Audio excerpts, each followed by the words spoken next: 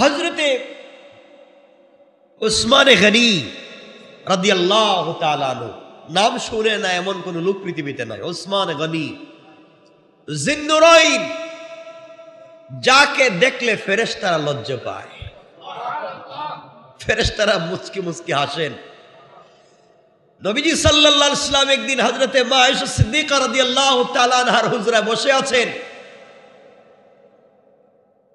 হযরত আবু বকর সিদ্দিক রাদিয়াল্লাহু তাআলা আনহু এসে দরজায় নক করলেন। নবীজি ঘরের ভিতরে শুয়ে আছেন পার্সোনাল টাইম স্ত্রী হযরতে মা আয়েশা সিদ্দিকা রাদিয়াল্লাহু তাআলা আনহা। নবীজির নাভি থেকে হাঁটু পর্যন্ত ঢেকে রাখা। মানে ঘরে শুয়ে আছেন তো স্বাভাবিকভাবে। আপনারা এভাবে শুয়ে থাকেন না মাঝে মাঝে? নবীজি শুয়ে আছে ঘরের ভিতরে। আবু বকর আসছেন। নবীজি বলছেন, কে? রসুল আল্লাহ আমি আবু বকর বলছেন, দরজা ধাক্কা দিয়ে ঢুকে যাও। সোহানুল্লাহ বললেন না? কিছুক্ষণ পরে আরেকজন এসে বলছেন রসুল আল্লাহ সালাম আলাইকা রসুল আল্লাহ নবীজি বলছেন, কে? ইয়া রসুল আল্লাহ আমি অমর। নবীজি বলছেন, আসো অমর ধাক্কা দিয়ে ঢুকে যাও। ঢুকছে। কিছুক্ষণ পরে আরেকজন এসে সালাম দিয়েছেন সালামু আলাইকা, ইয়া রাসূলুল্লাহ, কে? আলী। আসো আলী, আসো আসো। কজন হইছে? আবার একজন এসে ডাক দিয়েছেন, সালাতু সালামু আলাইকা ইয়া রাসূলুল্লাহ। কে? ইয়া রাসূলুল্লাহ, আমি ওসমান। দাঁড়াও। সুবহানাল্লাহ বললেন, সাহাবে কারাম চিন্তা করলেন, আমরা আসলাম। দাঁড়াতেও বললেন না। ডাইরেক্ট ঢুকে গেলাম এখন। উনাকে দাঁড়াতে বললেন কেন? দেখি কি করেন। রসুল উঠলেন, মেসওয়াক করলেন। মুখ, হাত, মুখ ধইলেন। পুরাটা পোশাক পরলেন। নিজে দরওয়াজা খুলে দিলেন। লম্বা ঘটনা আমি বলব না, আমাদের এই সময় নেই। সবাই চলে যাওয়া। গল্প শেষ বা যে উদ্দেশ্যে আসা শেষ হয়ে যাওয়ার পরে তিনজনে মিলে একদিন উসমান হজরত রসুল পাকে ধরছেন, ইয়া রসুল আল্লাহ আমাদেরকে যেভাবে বললেন, আসো, আসলাম। কিন্তু উসমান বলার পরে আপনি উঠলেন, পরিষ্কার হলেন, কাপড় পরলেন, এরপরে দরজা খুলে দিলেন। ব্যাপার কি? তিনি বললেন, তোমরা জানো না, ওসমান আমাকে এভাবে দেখুক, আর আমি ওসমানকে এভাবে দেখি। এটা আমি লজ্জা পাই কারণ তাকে দেখলে তো আল্লাহ লজ্জা পান আল্লাহ একবার ফেরেস্তরা পর্যন্ত যাকে লজ্জা পায়, এমন একজন মানুষ আমার ঘরে আসছে, যাকে আল্লাহ রব্বুল ইজ্জত ওয়াল জালাল আমাকে বলে দিয়েছেন, ও পয়গম্বরে আরবি হাবিবুল্লাহ, দুইটা মেয়েকে বিয়ে দিয়েছে, তোমার আরও মেয়ে থাকলে আমি বলতাম উসমানের কাছে বিয়ে দিয়ে দাও। সুবহানাল্লাহ বলেন না। তোমরা জানো না আমার উসমানকে আল্লাহ কত ভালোবাসে। এই উসমান, আলম্বা করছেন ওসমান নদী আল্লাহ তালানু বসা যার অ্যাকাউন্ট এখন পর্যন্ত সচল। সাড়ে চোদ্দশো বছর পরেও এখন উসমান জিন্নুরাইনের অ্যাকাউন্ট সৌদি আরবে সচল আছে, সুবহানাল্লাহ। হজরত উসমান গনি বসে আছেন। সাহাবির কাছে একজন আসলেন, এসে বলছেন, ভাই, আমার তো মেয়ের বিয়ে শাদি লাগছে টাকা পয়সাও নাই, ঘরে তিন বেলার, এক বেলার খাবার নাই, কিছু টাকা পয়সা থাকলে দেন।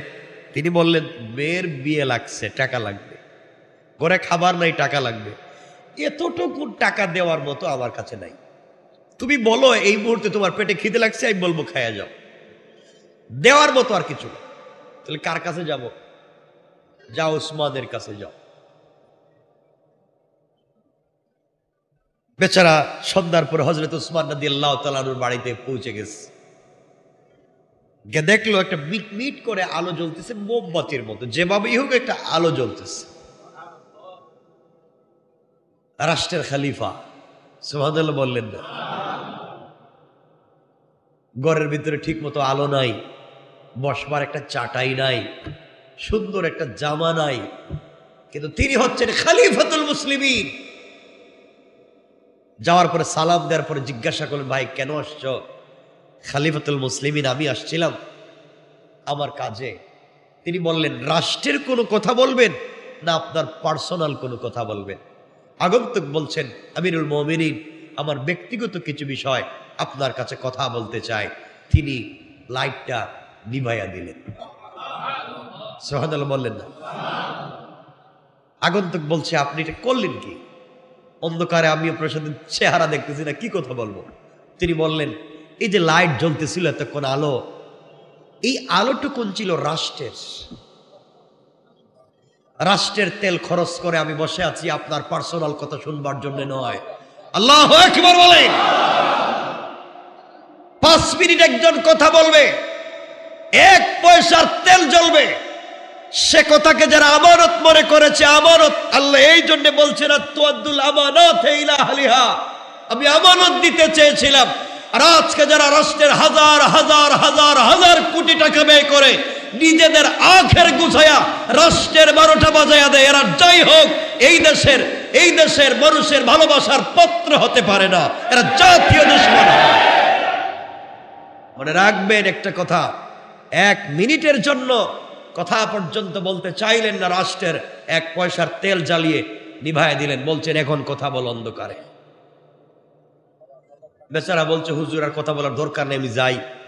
কেন বলমানা কথা কয় না? আমি কথা ভুলে গেছি।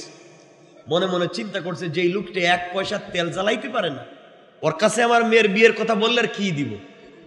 যাই, চলে গেছে।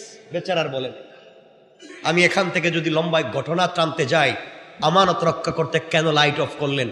আর আজকে আজকে আমরা কি করতেছি? আমরা কি করে যাচ্ছি? আমার মুসলমান বন্ধগান কবির মনোযোগ।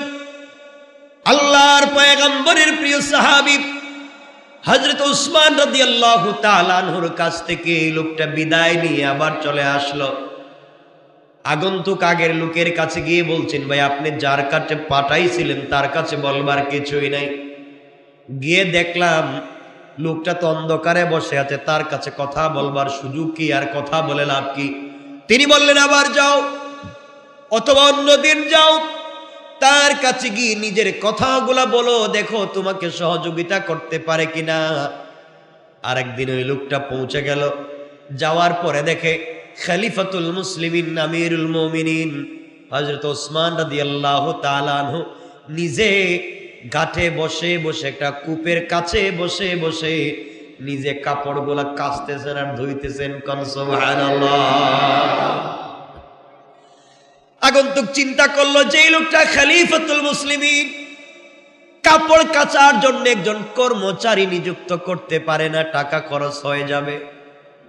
এই লোকের কাছে নিজের কথা বললে তো কোনো উপকার হবে না। আর আমরা যদি কোনো গ্রামের পাতি নেতা হয়ে যাই, তারও পিএস, এপিএস, অ্যাসিস্ট্যান্ট, ওর অ্যাসিস্ট্যান্ট, এর অ্যাসিস্ট্যান্ট, কথা বলেন নাকি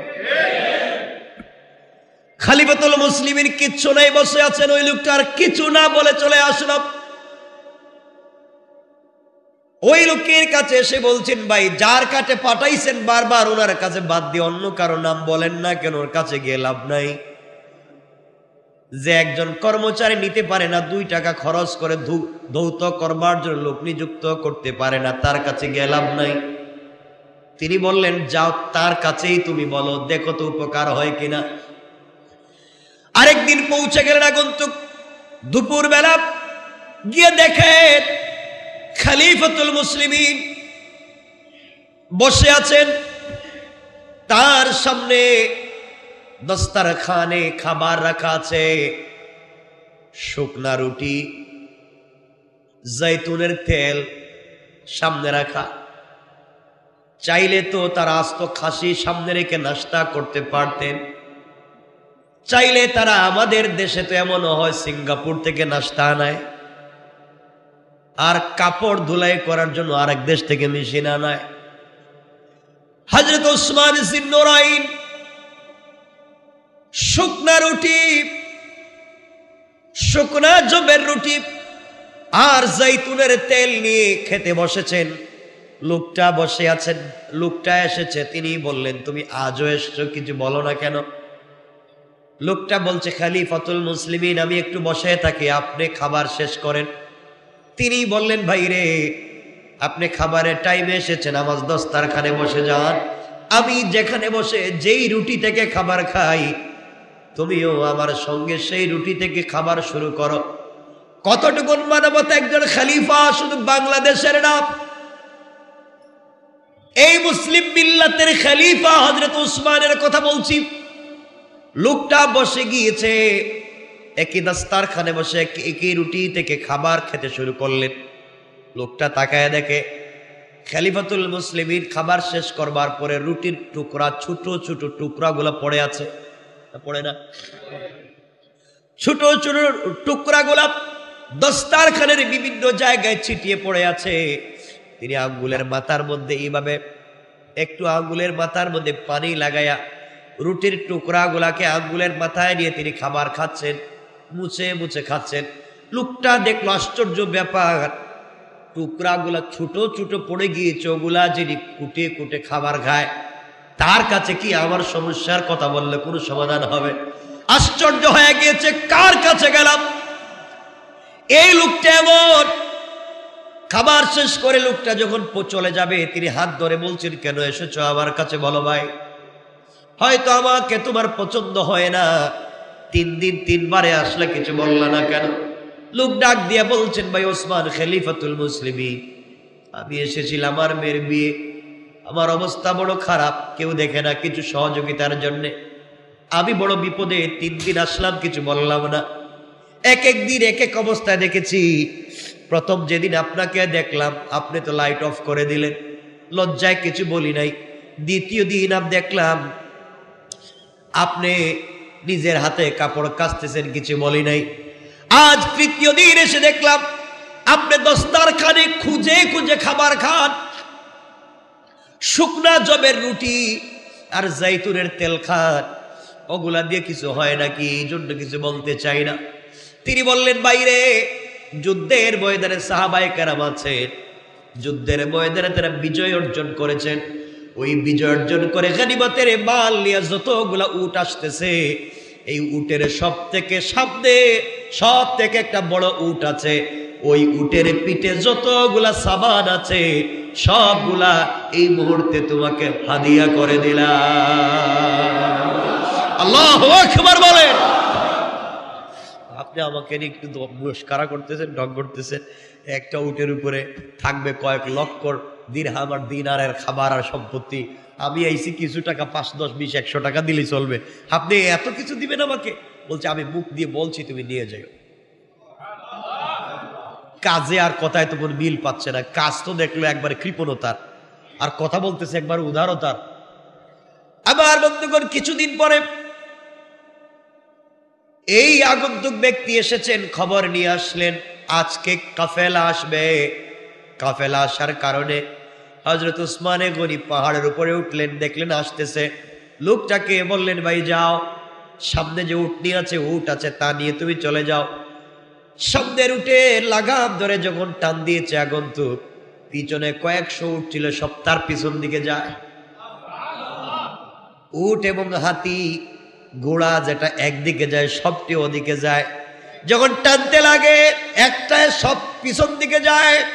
খালিমাতুল মুসলিমের আমিরুল মুমিন বললেন আগন্তুক শোনব তোমার পিছনে যতগুলা উট, তাদের সম্পত্তি পিঠের উপরে নিয়ে তোমার পিছন দিকে যায়। হতে পারে আল্লাহর পক্ষ থেকে তোমাকে দেওয়া হয়েছে। যতগুলা তোমার পিছন দিকে আজকে যাবে, সবগুলা ইসলামী রাষ্ট্রের পক্ষ থেকে তোমাকে দান করা হয়েছে। আল্লাহ একবার বলে। এটা হচ্ছে ইসলামী রাষ্ট্র। এটা হচ্ছে খলিফা। যারা আমানতকে রক্ষা করেছেন, যারা কুড়ি কুড়ি খাবার খেয়েছেন, আমরা তো পারব ইনশাল্লাহ বলেন না ইনশাআল্লাহ। আমাদের কাজ কি? বলেন না। আমাদের কাজ কি? হজরত উসমান যে এত কিছু করলেন, কাকে ভয় করে?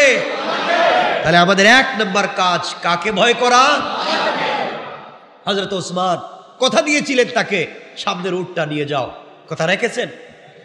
কওলেন সেদিদা, ইউসলিহ লাকুম আল্লাহ বলছেন আগের কওলেন সাদিদা সঠিক কথা বলো। তিনি বলেছেন, আমি দিয়ে দিব। দিয়ে দিয়েছেন। এখন পিছনেরগুলো পিছন দিকে যায়। তাও যদি তোমরা আল্লাহ বলছেন আমাকে ভয় করো এবং সঠিক কথা বলো। এক নম্বর ইউসলি হেলেকুম আমি আল্লাহ তোমাদেরকে আমলকে সংশোধন করে দেব। আচরণকে সংশোধন করে দেব। ওয়াগফির লাকুম যুনুবাকুম। এবং তোমাদের সমস্ত পাপগুলোকে ক্ষমা করে দেব। আল্লাহ একবার বলেন না? অনেকগুলো উপকার আমরা পাচ্ছি, অনেকগুলো উপকার পাচ্ছি। এরপর আল্লাহ বলছেন, আল্লাহ এবং যে কেউ আল্লাহ এবং তার রসুলের আনুগত্য যদি করে, তাহলে শেষ দিনে, কায়ামতের দিনে রসুলের পাকে নিজ হাতে হাউজে কৌসারের পানি পান করাইয়া আবার আরশে আজিমের ছায়ায় জায়গা দিয়া বিনা হিসাবে জন্নতুল ফিরদাউসের ওয়াদা পড়েন কাজ কয়টা? বলেন সবাই। এক নম্বর, দুই নম্বর, সঠিক কথা। এই দুইটা কাজ আজকে দিলাম। এক- এক সপ্তাহ করতে পারব না ইনশাল্লাহ কয়টা কাজ? এক নম্বর আল্লাহকে সকল কাজে। কত কাজে? দুই নম্বর সঠিক কথা কোন জায়গায়? সকল জায়গায়। ঈর্ষা, এই দুই কাজ করলে কোথায় যাব? জান্নাতে শুধু যাব না, আমাদের গুণা থাকলে ক্ষমা। কথাবার্তায় ভুল হলে ক্ষমা, ইবাদতে ভুল হলে ক্ষমা, সব ক্ষমা করে দিই। আল্লাহ নিজের দায়িত্বে জান্নাত পড়েন সুবহান আল্লাহ আমাদের সবাইকে কবুল করুন